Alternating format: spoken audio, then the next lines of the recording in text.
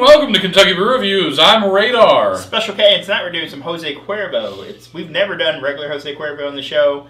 Um, I couldn't bring myself to start out with that one, so we're doing the Jose Cuervo traditional. Um, this is tequila Start plata. out. We have a whole shelf of tequila back there. I'm talking about starting out with the Jose line. Oh, I got you. Okay.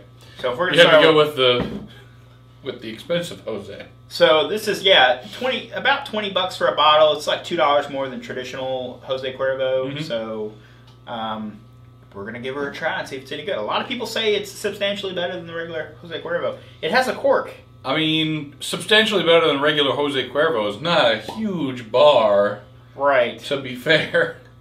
A lot of people like it, but it does have a synthetic cork, which is nice. Yeah, I dig bottles with corks. Don't have anything against twist caps, but corks are just classier. It's a good looking bottle. I like it.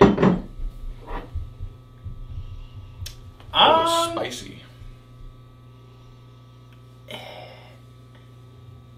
don't smell anything I don't like no, immediately it has a little bit of that charcoaly ness on the back end, and not not charcoaliness from like the agave. It's it's charcoaliness from like cheaper spirits that you Mhm. get sometimes. Otherwise, it's just agave in there, tequila. It's kind of peppery. It's got kind of like a spicy pepper thing happening. It burns the eyes. It's forty percent alcohol by volume. That's for sure. I think the alcohol actually lends itself a little bit to the to the spiciness. Well, let's see if there's in this glass. Eh, it's pretty clear.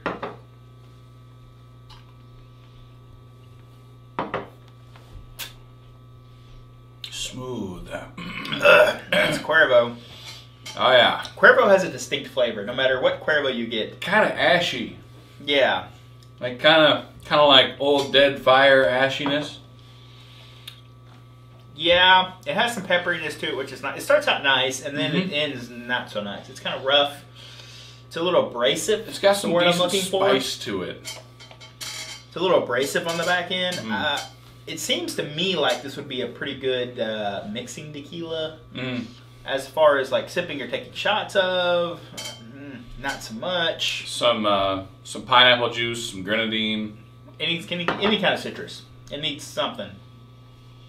Mm. because it's got a little bit of a bitter, like a bitter bitterness up front, and it's probably coming from the ashiness, but it's it's a little bit unpleasant. Mm. But it's not awful. Like it's not the worst tequila I've ever had. Yeah, this is on. And we're talking. I'm talking. This doesn't even make it. the bottom ten list on No. the worst tequilas I've ever had. No, it's not awful. Uh, Um, for the price, I think it's fair. mhm. Also, said Yeah. it was what twenty bucks. something yeah, like? I'm thinking this is a five tequila. That's where I'm going with it.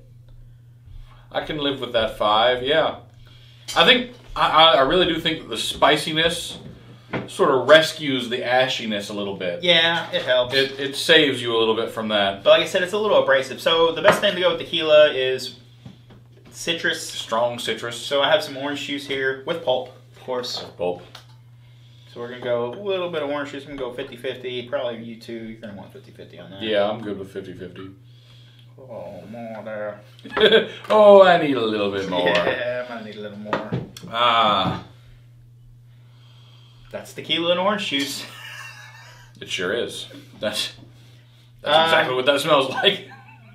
It comes off as a little more agave for it. It takes away any of the um, roughness that it had to be. Yeah, a lot of that a lot of that spiciness is now replaced with citrusiness, All right, let's hit it. and I'm not mad about it. And tequila and orange juice is a real drink, by the way, just for the people at home that don't think it is. Of course it is. Look at that. We we made it just now. That's actually really good now.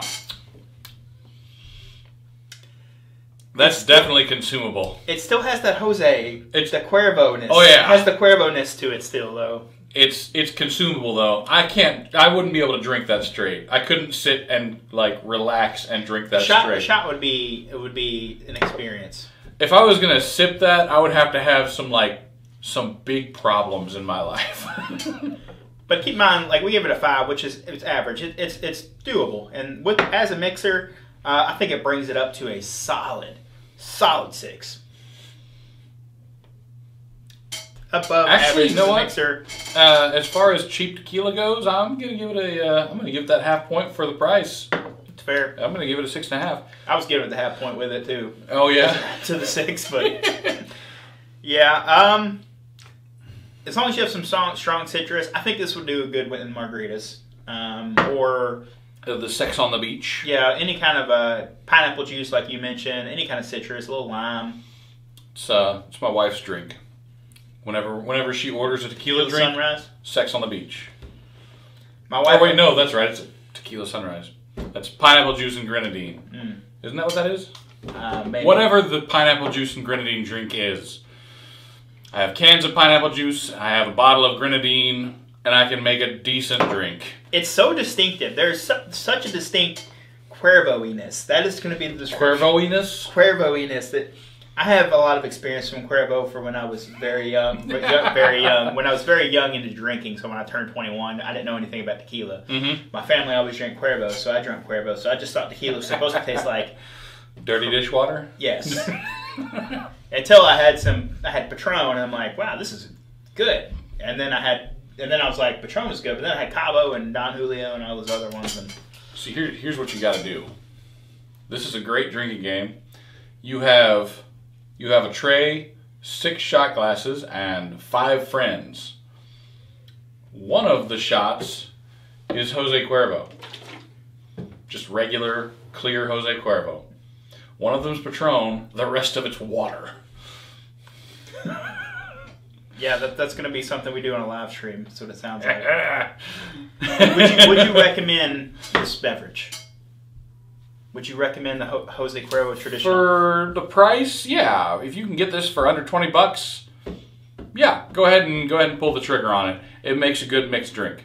if you're looking for a tequila, like a uh, margarita maker, sure. If you're looking for a shot taker, um, not so much. Yeah, if you want to if you want to shoot tequila, you're gonna need to spend more money. Yeah, like 35 minimum for shooting tequila. Mm, yeah, I would not. get you some Don Julio. This would be uh, burninating. It would burninate the countryside for sure. All right, well, that's been our episode. If you'd like to see anything else on the channel, you can leave a comment down below. I'm Special K. I'm Radar. Thanks Thanks for for watching. watching.